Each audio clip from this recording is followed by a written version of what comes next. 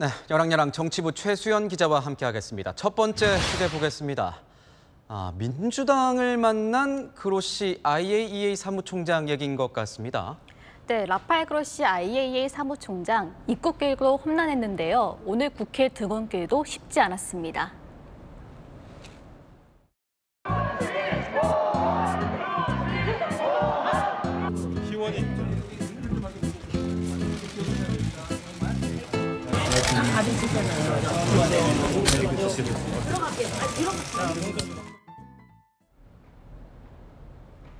네, 시위대가 국회에서도 반대 시위를 벌였는데 어, 민주당 의원들과 면담은 어땠습니까?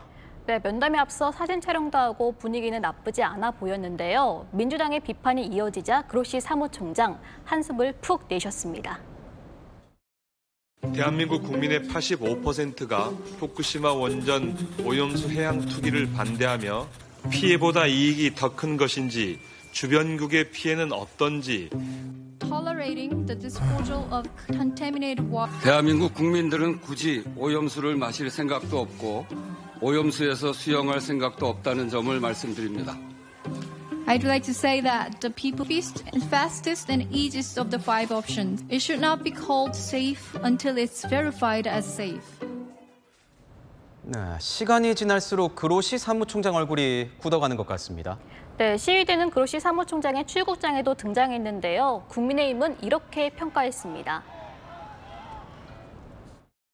우리나라를 찾은 외교사절에 대한 저급한 정치적 시위는 국격을 떨어뜨렸습니다. 계속되는 후쿠시마 괴담 선동의 행태가 그저 나쁘끄러울 뿐입니다. 그로시 사무총장에게는 쉽지 않은 방안이었던 것 같습니다. 다음 주제 보도록 하겠습니다. 아, 끝까지 간다. 물음표가 달려 있습니다. 네, 민주당 의원들이 후쿠시마 오염수 방류 저지를 위해 단식, 도보 순례 등 연일 강경 투쟁을 이어가고 있죠. 몸무게가 좀 조정되면서 이제 청년 모습이 좀 나오는 것 같아서 저도 저 거울 보면 기분이 좋습니다. 혈압이 정상이 돼서 그것도 기분 좋은 일이고요.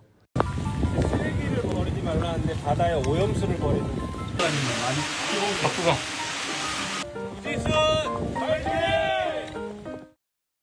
각자의 방식으로 투쟁을 이어가는 건데 여론은 어떻습니까? 네, 민주당의 오염수 총력전이 여론의 호응을 받고 있는가 여기에 대해서는 민주당 내에서도 고민의 목소리가 나옵니다. 여론조사 결과를 보면 최근 민주당 지지율이 오히려 하락세인 결과들이 나오기 때문입니다. 당 일각에서도 출구 전략을 고민해야 한다는 주장이 나오고 있습니다. 어제였죠. 토요일 매주 갔던 장외 규탄 대회를 하지 않았는데요. 당 지도부 관계자는 투쟁 방식이 바뀌어야 한다고 본다고 전했습니다. 마지막 주제 보겠습니다. 진심 알리기. 아, 누구, 누가 이 진심을 알리려 하는 겁니까? 코인 논란으로 민주당을 탈당한 김남국 무소속 의원입니다. 현재 국회 윤리특위의 징계 절차가 진행 중이죠. 어제 김 의원이 SNS에 이런 글을 썼는데요. 진심을 다해 진정성 있게 일했다.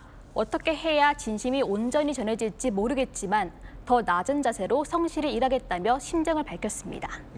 이 표현들을 보면 진심을 많이 언급했습니다. 이 억울함을 표, 표한 부분도 있다고 들었습니다. 네, 대선 자금 채탁 주장과 가난 코스프레는 콕 집어서 아니라고 강조했는데요. 매일 라면만 먹는다 등 과거 유튜브 발언들 때문에 가난 코스프레 지적이 이어진 바 있습니다. 후원금 사실 이제 청년들이 모금하기가 쉽지가 않은데요. 김 의원, 공개 행보도 시작한 거죠. 그제 국회의원회관에서 열린 토론회에 김 의원이 참석한 건데요. 그렇게 힘들지 않다. 항상 긍정적으로 보내려고 해서 알차게 많은 것들을 하고 있다며 근황을 알렸습니다. 국민의힘은 국민이 느끼는 건 진심이 아닌 배신감이라고 지적했습니다. 아직도 정치에 미련이 남아 정말 진심을 다해 진정성 있게 일했다고 스스로 평가하니 기가 찰 따름입니다. 김남국 의원의 진심이 국민에게 통하기 위해서는요. 그 무엇보다 국민들의 공감이 우선돼야 하지 않을까 싶습니다. 네, 지금까지 여랑야랑이었습니다.